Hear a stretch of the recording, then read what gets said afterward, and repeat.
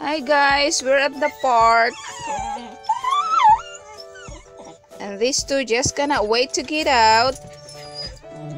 I asked them to wait because I'm gonna get some plastic bag first. And then I know we're gonna go out. I just need a plastic bag. Can't you wait?